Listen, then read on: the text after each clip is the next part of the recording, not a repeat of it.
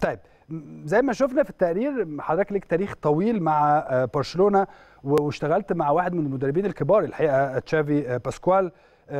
أعتقد إن دي كانت فترة مميزة في تاريخك التدريبي.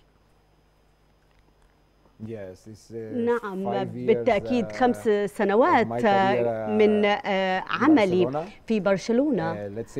ودعني أقول أنها كانت بداية لتاريخي المهني في 2008 وقبل ذلك بسنوات كنت أدرب ولكن كنت أدرب فرق صغيرة ولكن فرق مهنية ولكن ربما على مستوى أقل. وفي 2008 قررت أن أخذ أو أخاطر بمسيرتي المهنية وكانت مع برشلونة وأيضا كان مثل النادي الأهلي فهو كبير وكانت فترة ناجحة وأيضا كانت لدي فرصة أن أتعلم الكثير من أحد المدربين الهامين في ليس فقط في أوروبا ولكن العالم